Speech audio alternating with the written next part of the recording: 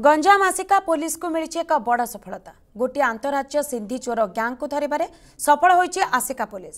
ସେମାନଙ୍କ ନିକଟରୁ ଚାରିଶହ ଗ୍ରାମର ଉର୍ଦ୍ଧ୍ୱ ପରିମାଣର ସୁନାରୂପା ଅଳଙ୍କାର ଜବତ କରିଛି ପୋଲିସ। ଘଟଣାରେ ଖୋର୍ଦ୍ଧା ଜିଲ୍ଲା ନାଚୁଣୀ ଅଞ୍ଚଳର ତିନି ଅଭିଯୁକ୍ତ ଜଣେ ସୁନା ବ୍ୟବସାୟୀଙ୍କ ସମେତ ଆସିକା ବାବନପୁର ଅଞ୍ଚଳର ଜଣେ ଯୁବକଙ୍କୁ ଗିରଫ କରିଛି ପୋଲିସ। ଏହି ଅଭିଯୁକ୍ତମାନେ ରାଜ୍ୟର ବିଭିନ୍ନ ସ୍ଥାନରେ ଘରଭଡ଼ା ନେଇ ଚୋରି ଯୋଜନା କରି ରାତି ଅଧିଆ ଟଙ୍କା ସୁନା ଲୁଟ୍ କରୁଥିଲେ। ଲୁଟ୍ ସୁନା ରୂପା ଅଳଙ୍କାରକୁ ବାଣପୁର ଥାନା ନାଚୁଣୀର ସୁନା ଦୋକାନୀ ଶିବପ୍ରସାଦ ନାୟକଙ୍କୁ বিক্রি করুথবা অভিযোগ হয়েছে